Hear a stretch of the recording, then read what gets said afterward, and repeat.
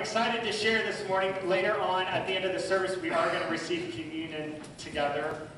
And uh, my, my message this morning is, is titled Rejecting Rejection. Rejecting, rejecting, rejection. I couldn't say that three times fast. Rejecting, rejection. And we're going to look at um, two scriptures that you know well and um, I believe probably a story in the Bible that you know as well. And um, at the end of the service, we're going to tie these together. Um, there, there are in Romans some foundational scripture verses that remind us what it means to be a believer in Jesus Christ. You don't have to wonder whether or not you're saved. The Bible tells you how to know that you're saved. And so there are these key verses in Romans we call them the Romans Road to Salvation. And we're going to look at two of them this morning. So if you have your Bible, we're going to look at Romans 3 and Romans 6. And then if you have a third finger to mark in your Bible, we're going to land in Matthew 15. And we're going to put these scriptures together. So let me read Romans 3. I'm going to go to verse 23. It says, There is no difference between Jew and Gentile now that's leading into verse 23. That phrase is very important. And it says, verse 23, Romans 3.23, For all have sinned and fallen short of the glory of God. Now listen to verse 24.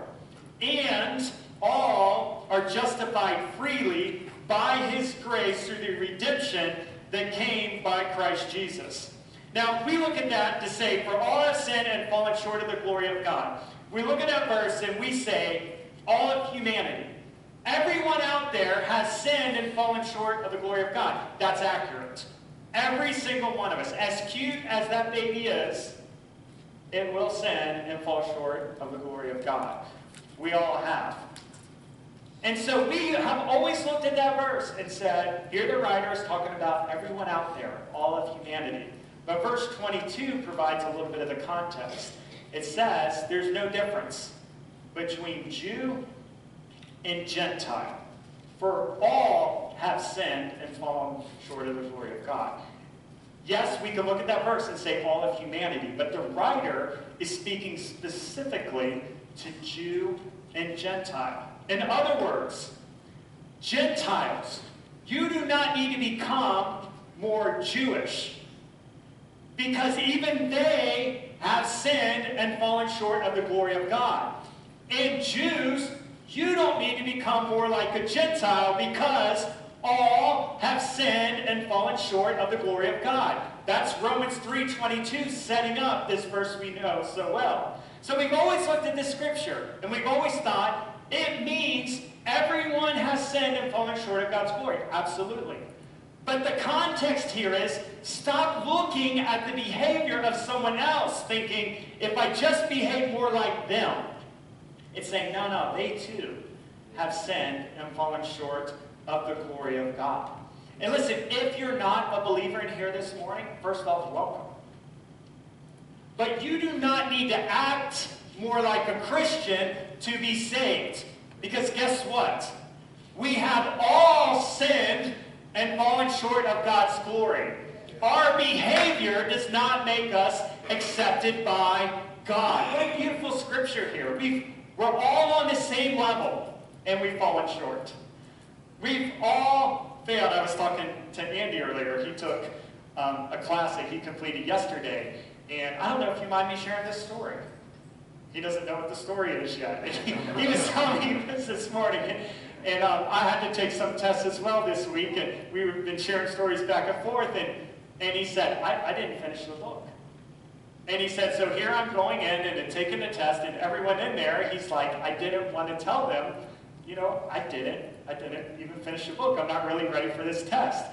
So somebody asked him, they said, Andy, what did you think of the textbook? What did you think of the book? And I'm sure he looked down and you know, tried to think of an excuse, and he just confessed and said, you know, I didn't like it and I didn't finish it. And this person said, him, I didn't either. I didn't read the book either. So Andy tells me once they started to ask around, almost every single person did not finish the textbook and yet was there to take the test. They all fell short of this. They're all on the same playing level. And that's what the writer's saying here. We're all on the same level. You don't need to act like them. Don't compare yourself to them. They too have fallen. They are not what you're striving for. Our picture is Christ. Our picture is Christ who we look to. Now, here's Romans 6.23. The wages of sin is death, but the gift of God is eternal life in Christ Jesus our. We're going to end on that scripture verse. If you look in your Bible, this is Matthew 15, 21 through 28. And these scripture verses, if this is the only portion of scripture you've ever read, it could really confuse you on who Jesus Christ is. Because we see and we hear from his own words that he is rejecting someone. And it bothers us to hear Jesus say what he says in these verses. It bothers us. It causes us to say, What? What does that mean? And it starts in verse 21, Matthew 15, verse 21. It says, Leaving that place, Jesus withdrew to the region of Tyre and Sidon. Verse 22, a Canaanite woman from that vicinity came to him crying out, Lord, son of David, have mercy on me. My daughter is demon possessed and suffering terribly. So it says Jesus is leaving one place. He was in a Jewish settlement. He was preaching and he was teaching, and there were large crowds, and he was doing miracles. In Scripture here, the context, it says he leaves that place. He leaves that place where he's doing miracles, and he has a big crowd, and it says exactly where he's going. He withdraws, and he goes in this land, and he goes in a place where Jew and Gentile are together. So he leaves the safe place of a Jewish settlement, and he goes in this very narrow place. And he's in this vicinity where there is a Canaanite woman from that vicinity. I love the picture here of what Jesus Christ did. It's exactly where you belong. We come to church and we worship and we sing and we listen to God's word. But we leave that place and we go in a vicinity where there are believers and unbelievers. And it is exactly where you belong. Jesus is on a mission to reach one person. He's going to minister to one person. He leaves the crowd. He leaves the revival. He leaves the miracles. He withdraws from that. And he goes to this very narrow place between two worlds. And listen, believer, this morning, you belong in that place between two worlds. We belong in a place where we're saying, God, I really need your kingdom to come right here. God, I need you to do something at my work. God, I need you to do something in my family. God, I need you to do something in my neighborhood. God, I need you to do something right here. I'm not in that safe place. God, I'm not there. I'm in a place where there's tension. God, I'm in a place where there's people that are hurting, and maybe it's me, and maybe it's a family member. It's the exact place where God loves to put us, in that narrow place. And she calls out to him, and she says, Lord, son of David. Now, she's a Canaanite woman. She says, Lord, son of the Jews. You're not my God. You're their God. She says, Lord, God of those other people, have mercy on me. You're not my God. You're their God but will you help me out? See how she still wants to put a, put a distance between the two? She's like, you're their God, and I hear you do things. Will you do something for me? In verse 23, it says, Jesus does not answer a word. Imagine that. We have this lady crying out, a desperate need, and Jesus does not say a word. Have you ever felt like that when you've prayed? Maybe it's a prayer you've prayed for years and you're like, God, I feel like you're not saying a word. God, where's the answer? Where's the end? I'll take a detour. I'll take a sign that says rerouting, rerouting, so I know that you're at least listening. And here, he's not saying a word. So, because Jesus did not say a word, the disciples did, which happens a lot, doesn't it? You'll have around you at times when you're having trouble hearing God, you'll have voices show up. Be careful. Voices that are not God. I don't mean voices in your head. I mean people around you who would love to give you advice, who would love to say, hey, maybe you ought to try this. If it's not faith, if it's not hope, if it's not the Word of God, it's man made advice. And that's what the disciples do. They say, Send her away, for she keeps crying out after us. Again, you read these scriptures and you're like, Disciples, what is wrong with you? How could you go to Jesus and say, Jesus, you're not saying anything, so here's what we think you ought to do? Can you imagine that? God, you haven't showed up yet, so I'm going to do my own thing. And here's what they say get rid of her, kick her out. Has Jesus ever done that? I mean, up until this point, do they have a prior experience where Jesus says, hey, their need is too big. Will you go send them away? Can you imagine that? That's what they're saying. They're like, she's annoying, she's loud, get rid of her. Just say the word. Especially we'll get Peter. He's always got a sword on him. Say the word, and we'll get Peter to make her go. And here's what Jesus says. We're like, here's the moment where he gets after him. And listen to what Jesus says.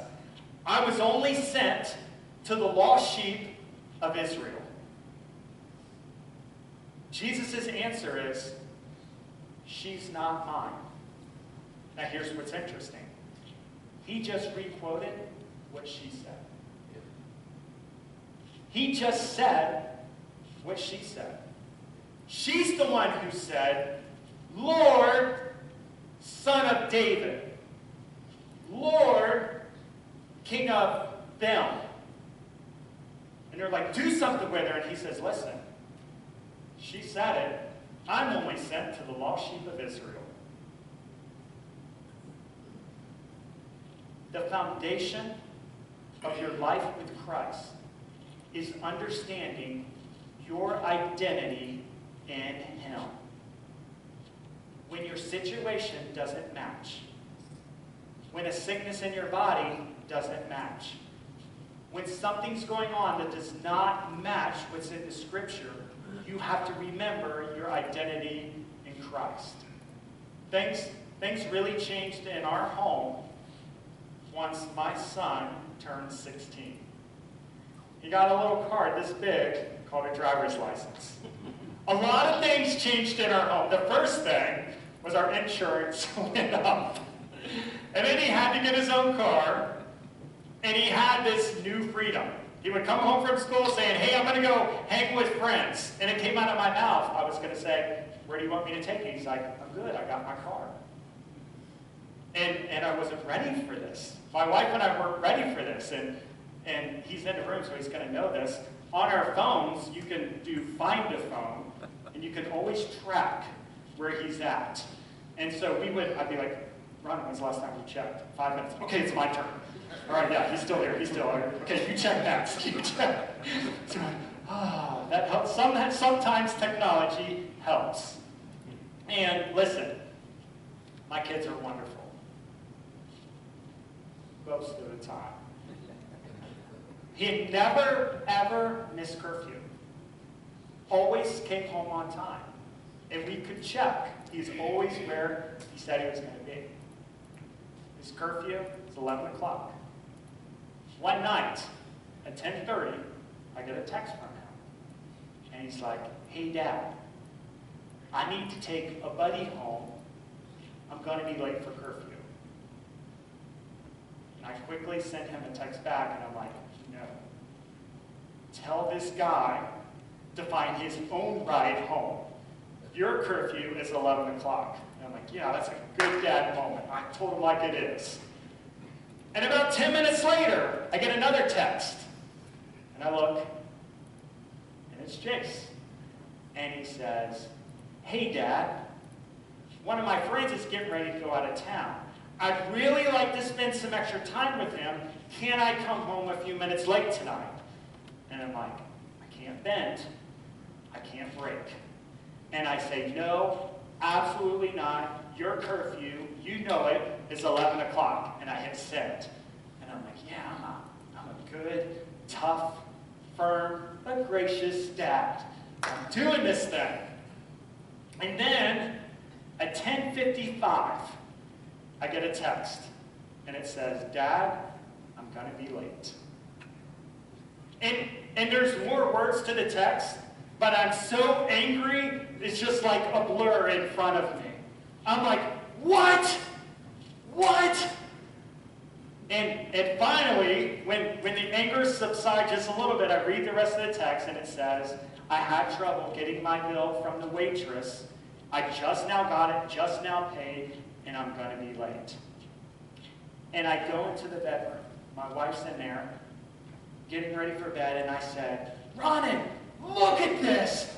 Look at this! Look what he did! And she's like, oh, oh okay. And I'm like, Ronan, look! He tricked me. He tricked me. Twice he asked, and I said no. And then at the last minute, he says he's going to be late. And it's like he completely manipulated and tricked me. And and I laid down in bed with her. The lights were off in our bedroom. And I just started to talk. And I was like, I don't know what I'm going to take away. I'm going to take his car. I'm going to take his cell phone. I'm going to take his clothes. I'm going to take, well, I can't do that. I'm going to take away everything. I'm going to take away friends. I'm going to take away air. I'm going to take away food. I'm going to, he's never, ever gotten in trouble. And so, of course, I'm going overboard. And I'm laying in bed and I'm thinking of all the ways that I'm going to punish him so he never does it again. And I hear his car pull in the driveway. And I hear his key on the door.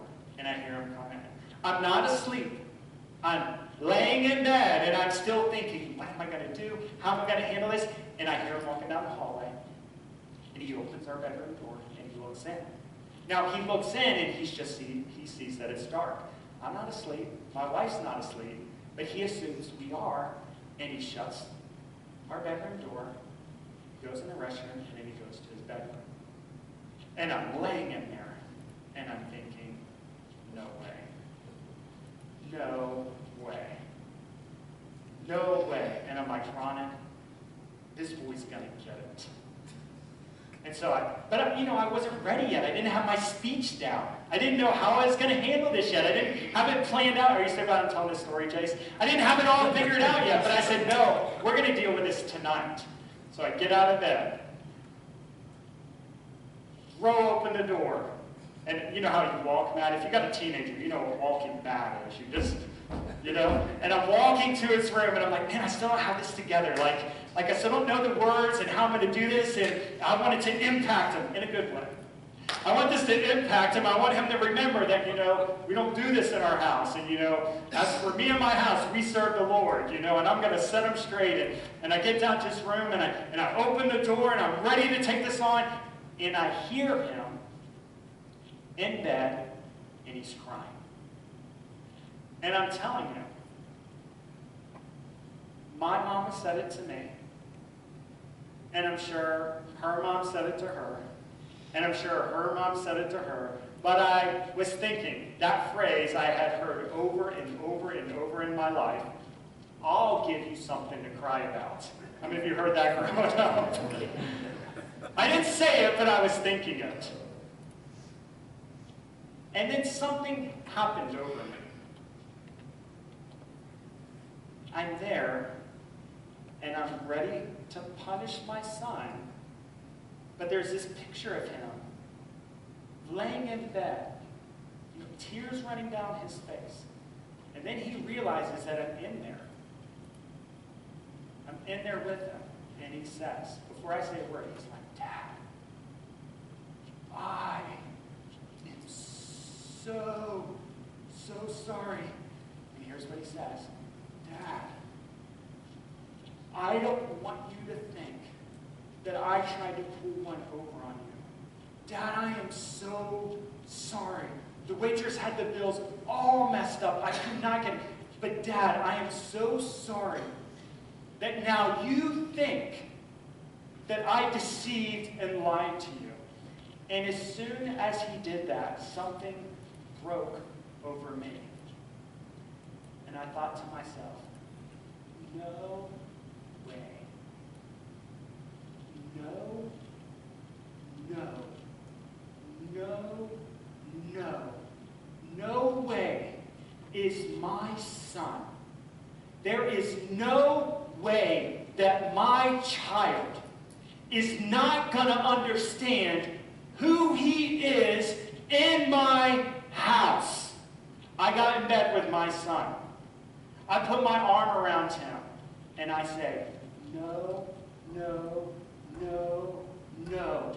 There is nothing, nothing you could ever do wrong that changes who you are in this house. Jace, you are mine. You are your mom's. We have paid too big a price. We have sacrificed way too much. There is nothing you can do that you are no longer my son. And listen to me, church. No, no, no, no. There is nothing you can do to separate yourself from the love of God. He has done too much. Sending his son was the ultimate price. There is nothing you've done. There is nothing you've experienced. There is nothing you're going through right now that has separated you from your Lord Jesus Christ. Our identity in Christ is secure as long as we stay in Him. And this lady, that's what she had to get. She had to stop saying, Lord God of them, just help me, but still stay out there. He's like, no, I want you. I want you. So the woman, listen to what she does next. The woman came and knelt before him, and she says, Lord, help me.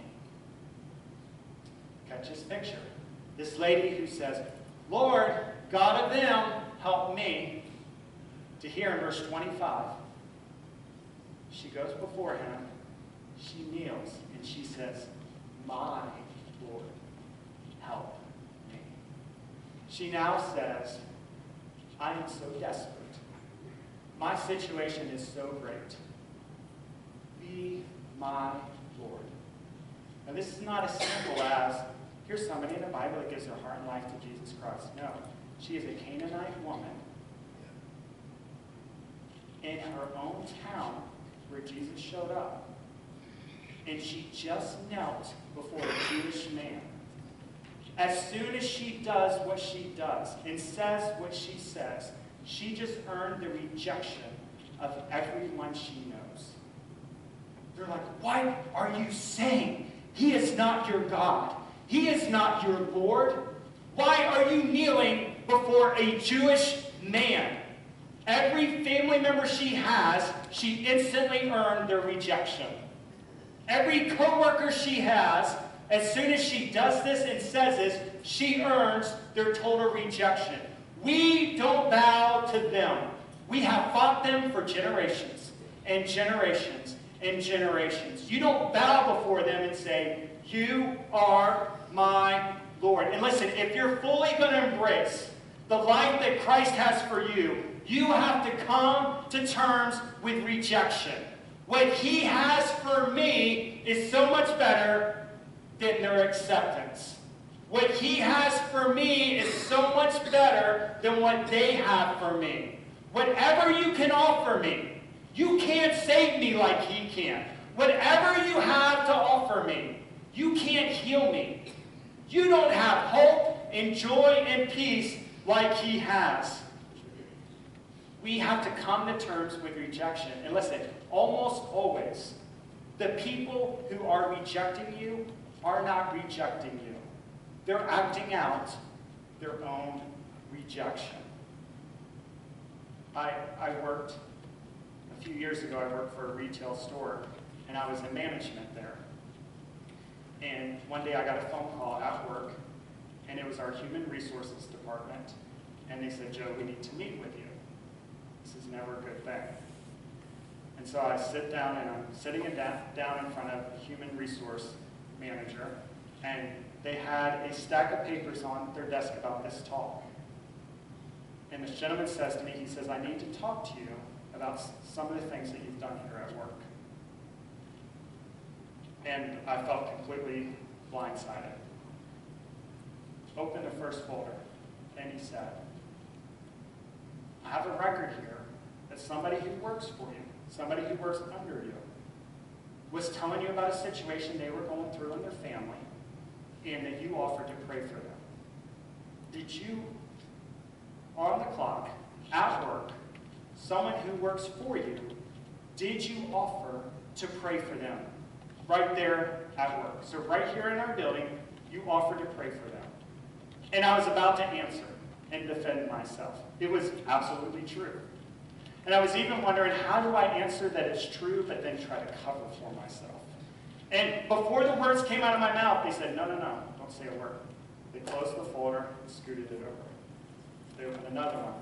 They said, we have another report. We have a report here that there's somebody who works for you that has a teenager. This teenager has run away from home a couple times, and you were talking to them, and you were encouraging them, and you encouraged our entire family to start going to church.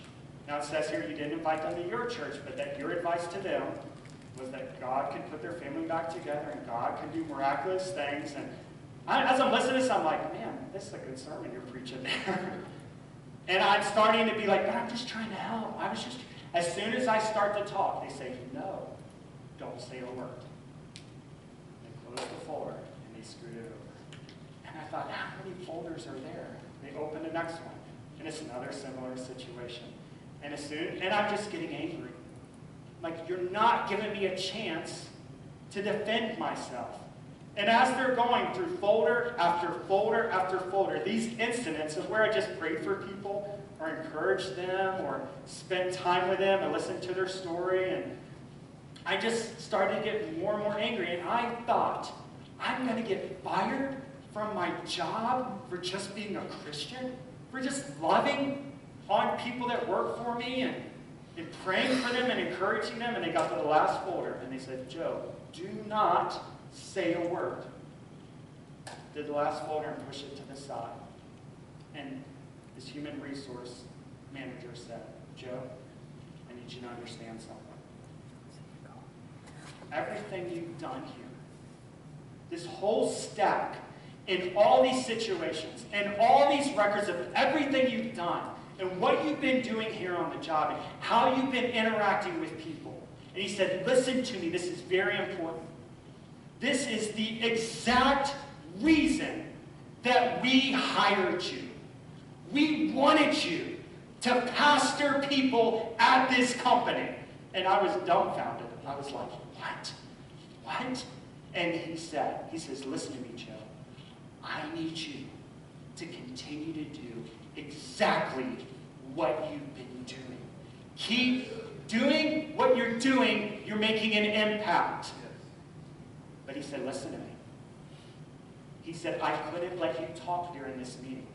Anything you said, I had to write down, and it goes in your permanent record. He's like, what I say does not go in the record.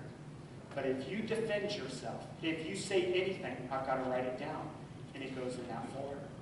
And he says, listen to me. If after this meeting today, you go up to one of those people and you say to them, hey, I heard you went to Human Resource. Hey, I heard you filed a report. He said, if you go up to one of them, a single one of them, you're automatically fired. You cannot defend yourself at all. So here's what he said. Keep doing what you're doing, never defend yourself. If you defend yourself, we can't help you. But keep doing what you're doing. Listen, that's heaven, the advice it's giving you. Keep doing what I told you to do. The resistance, the pushback.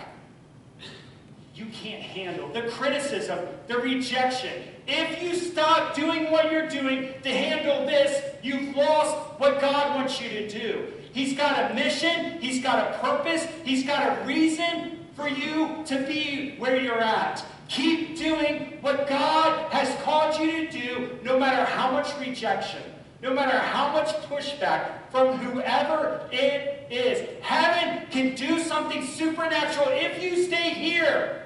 If you move here, you're on your own. You are not your defender. You cannot handle rejection. The only way to handle rejection from others is to remember you're his son. You're his daughter. What can they say to change that? Nothing. What can they do to change that? We have all sinned. We have all fallen short of his glory. But listen, but you've been bought by a price. And so you are secure in him. And he says to her, listen to this. She bows before him and says, Lord, help me. And he replies to her and says, verse 26, It is not right to take the children's bread and toss it to the dogs. I can't believe Jesus said that to this lady. It's not right to take the children's bread and toss it to the dogs. Listen to what she says. It doesn't faze her one bit. She says, Yes, it is, Lord. How many times in the Bible does somebody argue with Jesus and win? I only know of one. he's doing something here. There's a purpose to what he's doing. He says, it's not right. She says, yes, it is. Isn't that something? Isn't that something? It's not right to take the children's bread and toss it to the dogs. She says, even the dogs eat the crumbs that fall from the master's table. This, this story, what's next? Immediately following the story in your Bible. So it says Jesus leaves the place of miracles. He travels right here, and he has this encounter with one person, this woman, one person. And then Jesus leaves, and he goes back to a Jewish settlement, and he's about to feed the 4,000. Okay? So he leaves the miracle, he visits this one woman, and he ends his conversation with her and says, Is it right to take the children's bread and toss it to the dogs? He's about to stand before 4,000 men, so 10,000 people probably. And the disciples are going to come to him and say, There's not enough bread to feed the crowd. This woman, Jesus says, There's not enough bread. And she says, Yes, there is. Here's enough. Here's what she says I only need a crumb. I only need a little bit. And listen, no matter what you're going through, there's enough. No matter what your situation is, it's not too much. Your situation is not too much for God. There is still enough grace. There is still enough hope. There is still enough. And there are situations that you're going through that you can't control. We all have them. And if you're like me, you wish you could. We wish we could control other people, how they think and how they talk and how they act. But it doesn't work. If you're married, you learn that in the first five days. It doesn't work. We can't control us. we can't control someone else. And listen, if you're going through a situation you feel like, I'm not in control. Like I can't make them see. I can't make them do. I can't. Sometimes it feels so helpless. And I look at myself and I say, why do I say those things? And why the things I should be saying do I not do them? And guess what? That's Paul. Paul says, why do I do these things and I don't want to? And why do I keep doing that and I don't want to? And I'm like, yes, That's me. That echoes with me. It resonates. Why do we do? Guess what? No matter how much you feel like there's nothing I can do, He's got enough. This lady is at a place. There's nothing she can do. Her daughter's in need, and there's nothing she can do, and there's nothing anyone else can do. And she says, I don't need the loaf. I just need a piece. If I can have one touch of what you have, Jesus Christ. And here's what he says Woman, you have great faith. Your request is granted. And her daughter was healed at that moment. Romans 6.23, the scripture we read earlier. It says this about living a life apart from Christ. The wages of sin is death, but the gift of God is eternal life in Christ Jesus. So I want you to, I want you to listen to these two pictures. The wage of sin is death.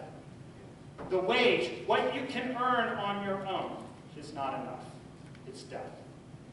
Whatever you can accomplish still ends in death. But the gift, so understand that picture. A wage of what you can earn and a gift that you didn't earn at all. The, the context here, the root words that are being used. When it says the wage, there's there's a picture, and you can see it earlier in this verse. It's a picture of talking about a slave and a master. And the Greek word, when it talks about wages, it means a soldier's fee. And so when you read that, it says, the soldier's fee, what the soldier receives in battle is death. A soldier might win today. A soldier might survive on the battlefield today. And he might make it the next battle. But eventually, that soldier will earn death. And there are things that we can accomplish outside of God. You can live life apart from God if you want. There are areas of your life where you could say, God, you're good, but I can handle my business. I want my own wage in this area of my life. Maybe it's with relationships. God, I'll worship you on Sunday. I'll worship you on Wednesday. And oh, I love the music. But listen, there are areas of my life that I'm going to manage. There are areas and decisions that I make. How I spend my money and how I, that's my thing. God, I, I love you, but there are areas of my life that are still mine. I still want to earn my wage. I still want to do it my way. And you might have friends that are not believers. And you see them do things and they taste a level of success. And you might even ask yourself, how are they so successful in my business? They're not a believer. How does their family look like it's so good? They're not believers. They never go to church. How come they're not sick in their body? They don't believe that Jesus is a healer. It, it does not seem fair. It doesn't see, I'm struggling and I'm a believer. I, my body's sick and I believe in Jesus Christ as my healer. I don't understand. Listen, one day, that soldier's wage is death. And listen, if you're living life for yourself, if you're living life based on your skill and your ambition and your ability, listen to me, one day you're going to die on that field. You ever see a movie or a TV show, and it's a man or a woman, and they're starting to age, but maybe they've been a bank robber, and they're having a conversation, and here's what they say. After this next heist, I'll retire. Right? And that kind of sets up the movie or the television show. They'll say, I just need the big one. I just, I, if I could just get that big heist, then I could stop all this. You know, every one of those TV shows, I'll tell you how that ends.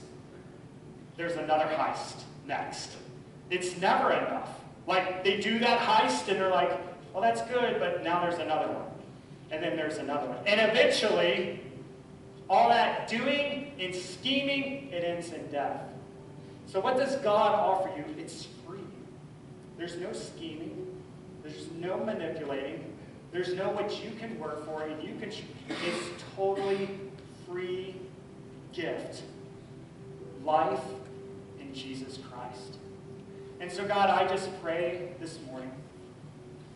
I pray that we will reject rejection. I pray it in Jesus' name. God, I pray even that story I shared this morning about standing in front of someone and they said, keep doing what you're doing, but don't ever defend yourself. God, I pray right now that you will give us the boldness to obey you and to follow you and not care what anyone says. God, I pray, just like the story in the Bible here, how she knelt before you and said, You are my God. God, we bow before you today and say, God, you are my God. God, I pray right now. I pray whatever you've spoken to us, whatever you put in our hearts, God, whatever callings and giftings and dreams and passions and desires and listening to the Holy Spirit, God, I pray you give us the boldness to pick it up and run with it in Jesus' name. God, we receive what you have for us in Jesus' name. We receive it in Jesus' name. God, I pray that we will be a church on mission.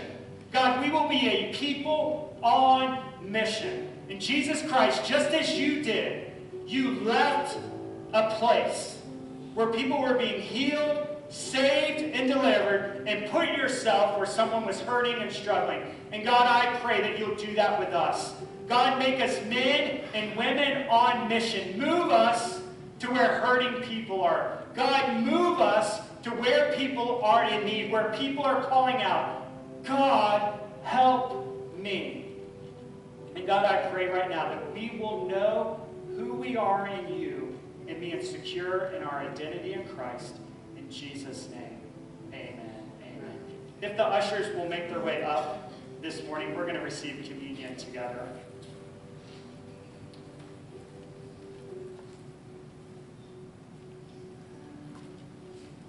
It's, it's an honor for me. This is the first time that we've received communion together. And this morning, I want to let you know that when we receive communion, the only requirement as we receive communion is that you're a believer in Jesus Christ. If you're, if you're visiting this morning, if you're not a member of our church, that's okay. Um, the only thing, and just as we have it inscribed right on the front of our table, is that we do it in remembrance of the sacrifice that Jesus Christ made for us. And I want to give you an opportunity this morning, if you're here today and you would say, I'm not a believer in Jesus Christ. I've not given my heart and life to him. I'm, I'm not saved this morning. I love, we talked about this last week, what Peter said when he was quoting the prophet Joel. He said, Everyone who calls on the name of the Lord shall be saved. And you might be in here this morning, you're like, now wait a second. That sounds way too easy. It sounds way too easy that all I have to do is call on Jesus Christ and I'm saved. It seems way too easy. It's got to be more complicated than that. It was. Heaven had to come to earth. Jesus had to live in